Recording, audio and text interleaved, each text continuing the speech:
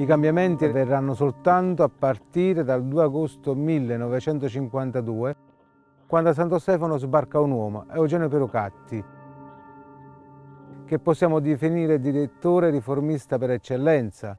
Il Perucatti sbarca a Santo Stefano e trova, come dirà lui, la tomba dei vivi.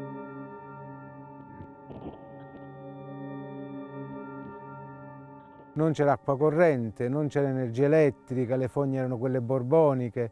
Perocatti mette in opera i detenuti come prima risorsa che lui possiede, ovvero non abbiamo denaro, non abbiamo energie economiche, ma abbiamo energie vive. Verranno messe in opera tutta una serie di innovazioni rare, anzi uniche. All'interno di altre carceri un campo di calcetto non c'era. Perocatti cambia veramente le sorti Santo Stefano.